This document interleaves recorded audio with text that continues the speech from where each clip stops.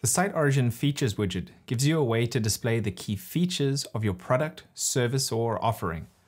These are a common design pattern on the web, and for good reason.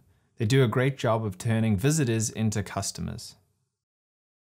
To start, make sure that you have the widgets bundle installed and the features widget is enabled by navigating to plugins, then SiteOrigin widgets.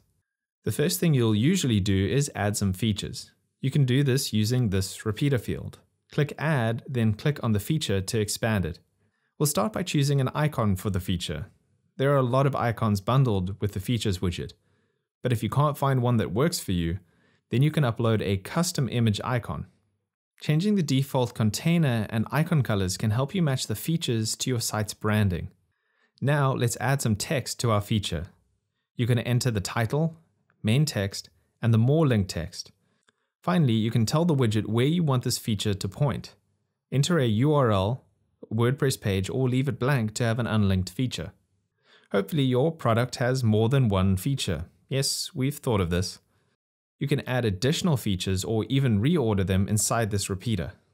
Underneath these features are some design and layout options.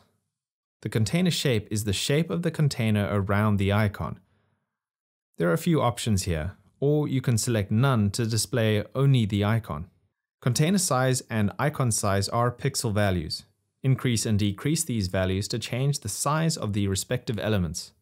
Features per row allows you to change the number of features displayed per row. The default is 3, but maybe you want to have 4 features per row. Next, we have a group of checkboxes that controls the behavior of the features widget.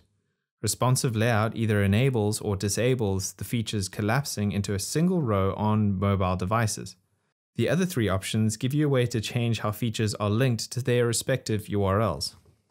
And that is the Features widget, a customizable way to show your visitors how you stand out. Thanks for watching everyone. My name is Greg from SiteOrigin, and this is the Features widget.